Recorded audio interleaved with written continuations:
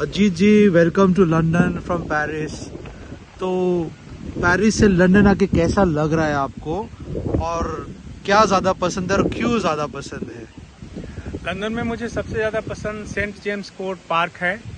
Saint James park जिसे कहते हैं बकिंगम पैलेस के पास। और हिंदुजा जी हैं जीपी और कल्पेश और विवेक। यही सब अपनी दुनिया है लंदन की और लंदन में एक तो आकर आपका दिमाग खुल जाता है। यहाँ का मौसम इस समय हिंदुस्तान में बहुत गर्मी पड़ रही है। यहाँ तो बहुत सुंदर हवा चल रही है।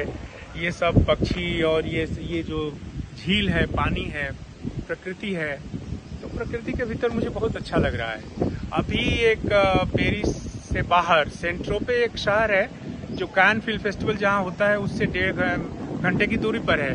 वहाँ पर एक इंडियन लव स्टोरी है, जिसके बारे में कम लोगों को पता है। नेपोलियन बोनापार्ट वन जब मर गया था और उसकी मृत्यु के एक साल बाद 1822 में एक जियांग फ्रांसुआ अलार्ड नाम का उसका कमांडर, सैनिक कमांडर ईरान में गया। वहाँ से उसने फारसी सीखी। वहाँ से अफ़गानिस्तान होते हुए महाराजा रणजीत सिंह के दरबार में पहुँचा। और उसने महाराजा रणजीत सिंह पंजाब के राजा थे उस जमाने में और लाहौर राजधानी हुआ करती तो उन्होंने महाराजा रणजीत सिंह से उसने कहा कि मैं आपकी आर्मी को ट्रेन करूँगा। तो उसने फ्रेंच स्टाइल में आर्मी को ट्रेन किया और वो ब्रिटिश से लड़ने के लिए। बाद में वही एक बन्नू पाई देई है, बन्नू पान देई, एक हिमाचल प्रदेश की राजकुमारी थी जिससे उसका प्रेम हो गया। बाद में उन दोनों ने शादी की, उनके चार बच्चे हुए।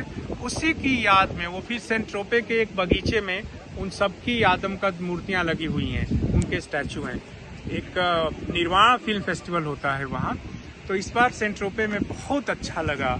और वो लोग भारतीय प्रेम कहानी की याद में इतना अच्छा फेस्टिवल करते हैं।